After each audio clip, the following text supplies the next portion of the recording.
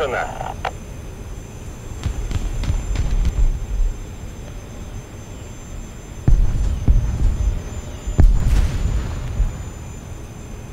Ah, 180, 200 meters. Heading to the base.